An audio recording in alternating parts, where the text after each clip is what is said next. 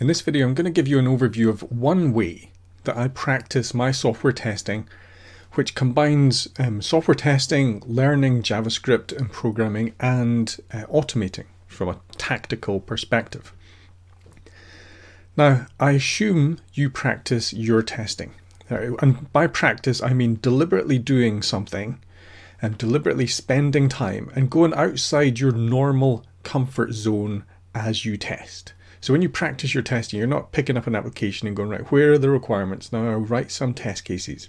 You can do that to practice test techniques. You can analyze things, but you clearly don't need the requirements. Just pick an application, look at it, analyze it. Go, how would I test this? What would I need in order to test this? Start thinking through um, the testability aspects. Do I have the ability to test this? Do I know how to test this? What information would I need? Do I have the environment? All that kind of stuff in the, the testability type approach and get your, your mindset on. But one of the things I do is because I like playing games and I don't have a lot of time to play games, um, I pick games on the internet like Z type, X type, there's a whole bunch of different games. Um, and then I will look at them and try and figure out how to test it. Now, the reason I do this, right, so back in the olden days when we were growing up, there was this Cascade 50 tape which had 50 games. You bought it once, 50 games. It came with a free watch. And pretty universally, um, the free watch is viewed as the best part of this package because the games were um, dreadful. Right, there's a lot, a lot of games in here, and they were really bad, like really bad graphics, really bad um, programming, they were pretty much written in um, BASIC, so they weren't fast, they weren't good. It was just kind of knock some stuff out and throw it out there. Problem is, I really liked this. And I really liked it because I could play the game, which was fine. It wasn't very good, but it kept me busy for a little bit of time. But I could break into it and I could see the code. Right, so here is one of the uh, ZX81 games from the Cassette 50. This is called Maze Eater. I'm going to level 1. And this game is pretty rubbish. I, I'm the little circle. I move about and I eat the dots. That's it. Um, not a lot of challenge there. But the best bit is, as you can see down here, if I hit the space key and do break, and then I use the K key to get list, I can see the code, right? All the code is there. So when we've loaded up the game, the code is there. Now this is analogous to what we have now with the web. When I come in, I load up a game. In here is all the code. I can do view page source, there's all the code for the game. This is exactly the same situation as we were back in the 80s when we were learning how to program. This is what kick-started the 80s um, software development in uh, the UK. We have all this in our console. So this is what I use to practice. And the side effect is I end up doing this by finding a game or an application. I'll play the game to figure out what's going on, to model the game and understand it, and I'll eventually get to the point where I write writing bots to automate it, which is great, right? So then I'm challenging myself to play the game. There's a fun game that I can play, and I've written something that helps me understand JavaScript and is me thinking about how can I tactically automate this to solve some problems. Now, last night I was, or yesterday I was working on X-Type. I found X-Type. I was playing this. Great game. You play this, you shoot things, you have to move about and shoot things. It's quite hard but I wrote a little bot to automate this and the bot completely plays the game so it moves about, it shoots the things, it can get a much better score than I have.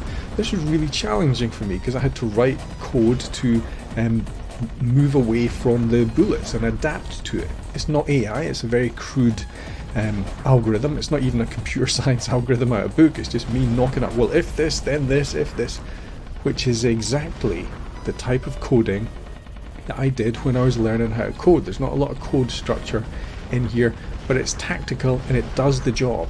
And very often when we're learning how to code and do programming, tactical stuff that does the job is good enough. It supports us. We're writing um, little utilities, little code to help us get a job done.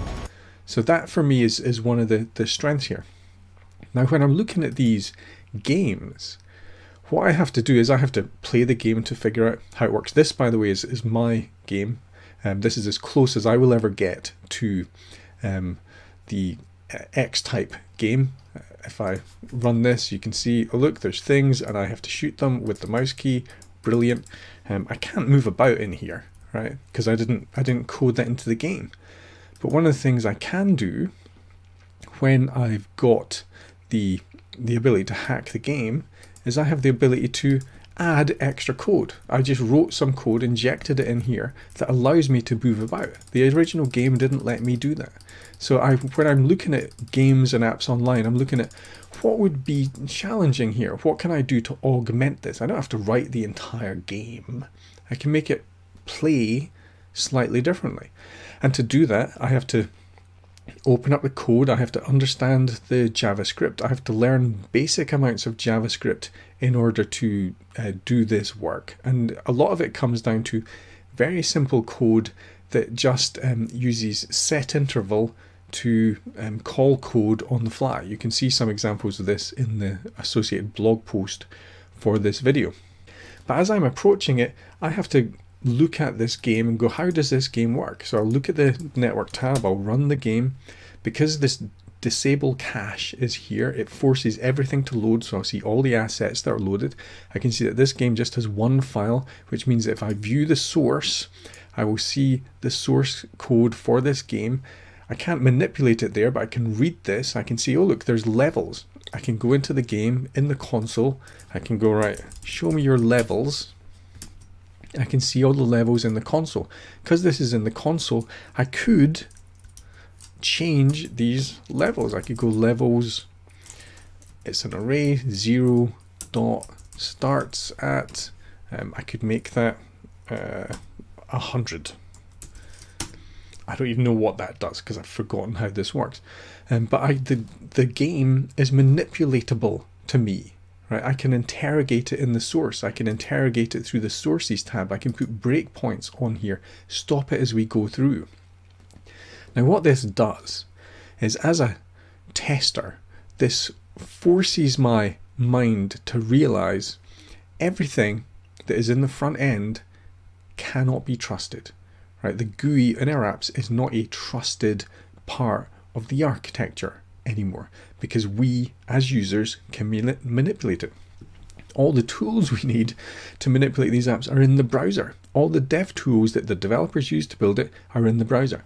They are available to the users. We don't have to install SDKs anymore. It's all there, which forces us as testers to build our technical skills so that we're not just testing at the surface layer of the application because that needs to work. We need to test that. We need to functionally exercise that, go through the flows, try and do flows that it's not supposed to do. But if we limit ourselves there, we are aware if we've been practicing that we know we have to go further. We have to start introducing proxy tools to help us bypass the GUI and test at the server layer to make sure that the server is actually working because the GUI is not a trusted component because we can change any of this. Now when I am starting with these games, and I am looking at them. I'll do this kind of approach. I'll load up the game, I'll look at the source, and I'll do little experiments. And very often, I'm not building games to bots to completely play the game. Like the Z-type and X-type bots are um, one of the few exceptions that I've got that play the entire game. Normally, I'm writing support tools.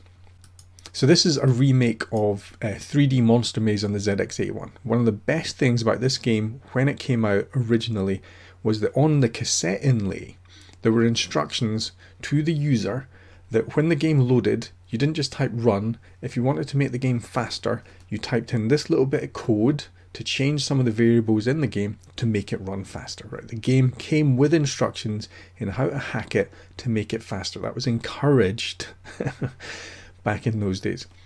So with this game, this is a really good um, remake. Um, if I do continue here, what we've got is we've got a, maze. It's a very simple maze. Well, it's not a simple maze, it's a complicated maze. Let's start.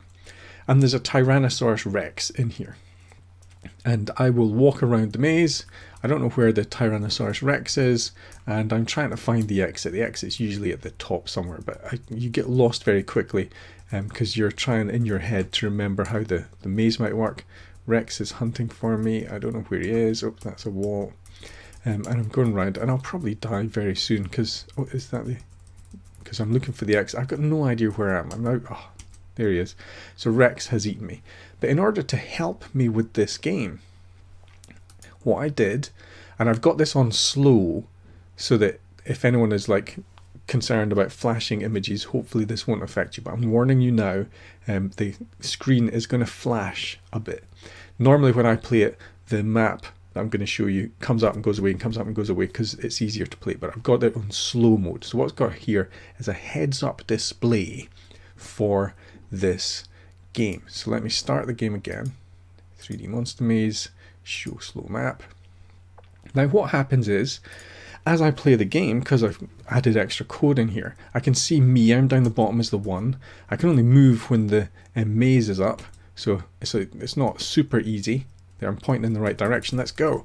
If I can get to the end there, then I can see that the Rex, is, which is marked by the T, I can see exactly where he is. Now this is a, it feels like a different game. Ah, am I going to make it? I'm not going to make it. He's going to get me as soon as I get there. Ah, okay. It feels like a different game at that point because now I can see where he is at all times and it's a, it's a different set. Now it's an action game. Now it's exciting. Previously it was a kind of strategy, tactical, tense um, horror game. Now it's just a, a full-on action game because these little augmentations change the game and allow you to do experiments. Now I use this kind of stuff in my testing. And I use this to um, extract data, create data. Um, sometimes I'll just have snippets of code that change it slightly. Anything that helps me. Sometimes I'll take snippets of code, put them into bookmarklets so I can run them as you do here. You saw I've got a list of bookmarklets here to help me when I'm playing the game and test it. They add extra features. The amount of options that this opens up and it's such an easy way to learn. So you're looking at the code that's in the game, you're seeing the code, you're uh, understanding basic JavaScript. I could take this JavaScript out and run it from the console directly. I can override, I can learn eventually to override all these functions and completely change how it works. But this is automating tactically. I would never put this into a continuous integration server. This is to support my work. That's a lot of the reasons why we automate. Um, software development engineer in test creates tools and utilities to support people when they're testing. It's not just about automating and continuous integration, that's really important, but we also have to do things to support our work. Now, when we start automating tactically, very often the code that we write, if we keep using it, will become more strategic. The code that for me here that has become more strategic has been put into bookmarklets. Right? It's no longer run from the snippets view. It's no longer copy and pasted from a text editor into the console. I've formalized it into bookmarklets because I'm going to use it all the time. The code had to get better written as I did that because it got ever more strategic. The next step might be to put something into WebDriver to call up the game, to inject the JavaScript that I've written using the JavaScript executor, to then call it through a more strategic tool to help me automate it.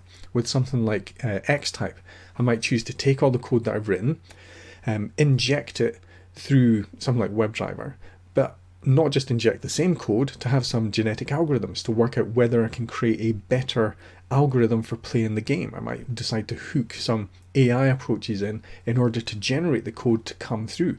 We start opening up options in how we test. Now, the side effects of doing this are um, you learn more, and it's hard to really say in advance exactly what you're going to learn or exactly how you are going to use this. All I'm trying to do here is encourage you that there's a lot of benefit in practicing your testing in a very deliberate way, going underneath the covers you can learn very simple amounts of JavaScript to automate it. And if you do a search for hacking JavaScript games, some of my material will come up and it's very simple to work through. Um, I do cover some of this in the Technical Web Testing 101 course, and I cover some of this on the Patreon stuff as well. But if you just do a web search for um, Evil Tester JavaScript, Evil Tester hacking JavaScript, stuff like that, material will come up because I've done conference talks and tutorials on this. This is just an encouragement because the benefits that you will get out of this this are just massive, right? And you're not just practicing your testing, you're going beyond what you normally do. You're using tools, you're using it in a safe environment. Sometimes, what I also do, another way I'll use to practice my testing is to get involved in bug bounties. Sometimes I'll do security testing in those, but it's not just about security testing, it's about getting access to applications that are want you to test them. Now, if you find functional defects during those bug bounties, chances are no one will be interested. You won't be able to raise them, you won't get any money. You can email them to people, they will just ignore you, they won't get fixed. I'm just telling you now because that's what happens. But you might find security problems, you might get a bounty, right? And it's a good way to practice because you don't have to download the apps or go on to the virtual machine sites and download virtual machines that have got pre-installed apps. There are loads of ways to test this.